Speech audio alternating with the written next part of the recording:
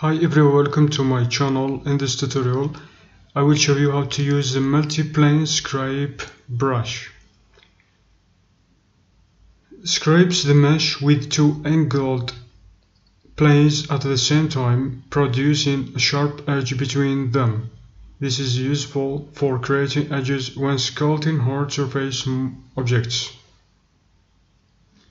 So let's go over here, hold and drag your mouse cursor or your graphic or your drawing tablet pen, hold and drag to see the effect of this brush of this brush as shown here.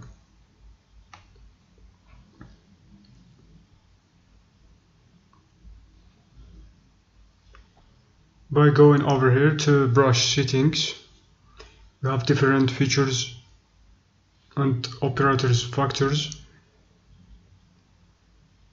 like a plane angle also it's over here it's a good feature for this uh, for this brush. The angle it's the angle between the two planes of the brush.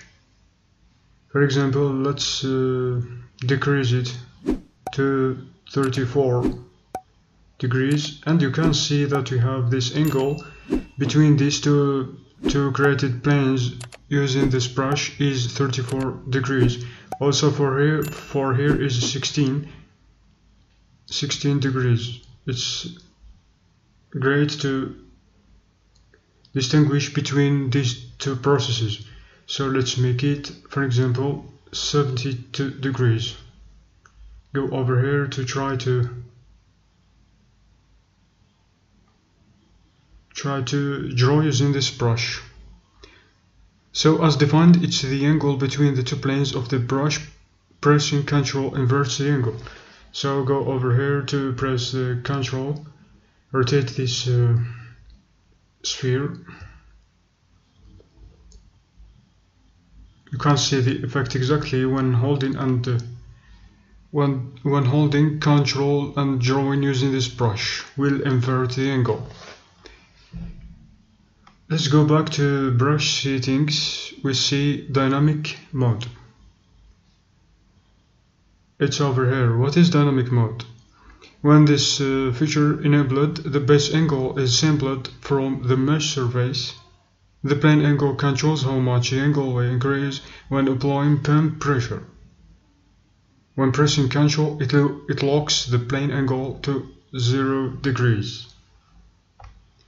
So let's disable it and we try to see the difference. Yes, we have see the difference that we have no pressure to be applied over the mesh surface. So let's go to see the other feature to distinguish this uh, brush from the others. You have it has many different good features for do, for doing that. So let's enable dynamic mode again. When disabling show cursor preview. The show cursor preview what can this do? For mesh. This displays a preview of the two scrape planes and the angle they form instead of the cursor while performing the stroke